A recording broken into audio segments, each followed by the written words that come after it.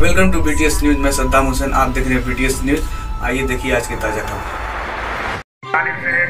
इस्लामाबाद के आवाम को इतला दी जाती है कि आज रात नौ बजे से अप्रैल तीस तारीख तक नए कर्फ्यू अमल में रहेगा। लिहाजा अपने अपने दुकानदार, गाँव के अंदर